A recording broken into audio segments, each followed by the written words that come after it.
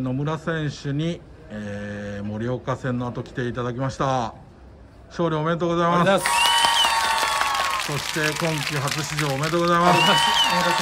そして今季初ゴールおめでとうございます。そして素晴らしいゴールでしたね。あありがとうございます。振り返っていただいていいですかゴールを。ゴールですかね。しゅんくんあの左サイドで作っていて、えースペースを見つけた時と僕がスペースを見つけた時としゅんくんがターンして顔が上がった時にあのタイミングがバッチリあって、まあ、そこからはいいボールを入れてもらったんであとはもう思い切りゴール前は自分のイメージ通りにプレーするだけだったんで気持ちいい得点でした。素晴らしい先制ゴールにじゃあ森武賞と今日はなんと日名子賞まで2つ来ましたありがとうございま一言お願いします。賞をもらった感想。いやあの大切に使わせていただきたいと思います。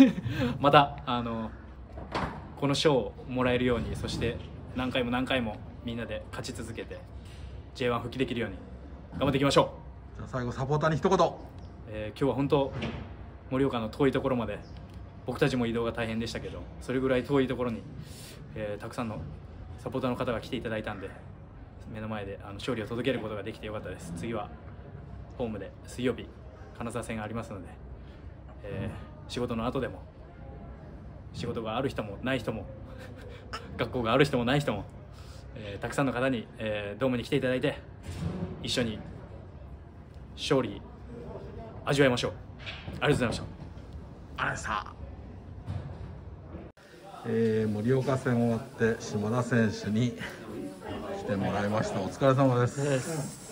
だいぶ疲れてる感じですが大丈夫ですか、はい、ちょっと遠かったです。そうですね、まあサポーターもすごい遠くまでたくさんの人応援に来てくれたんで、まあ勝ててよかったです。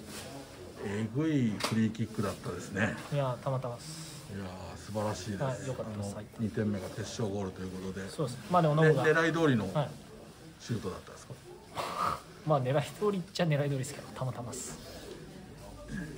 まああの2対1というところでまあこの遠いアウェーのゲーム、まあ、勝ち点3っていうのは非常に大事だとは思うんですけど、次金沢戦ホームどうですか？